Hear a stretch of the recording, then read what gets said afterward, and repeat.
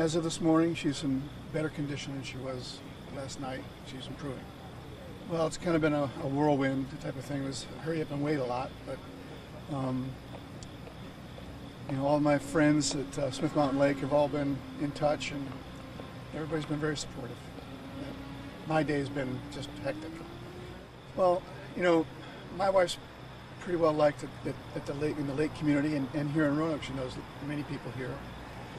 Um, you know, we've we've been uh, I've been very not surprised, but but uh, buoyed by the, the help that we've gotten from our friends, and it's it's um, you know it's, it's hard to explain, uh, but it's been it's been uh,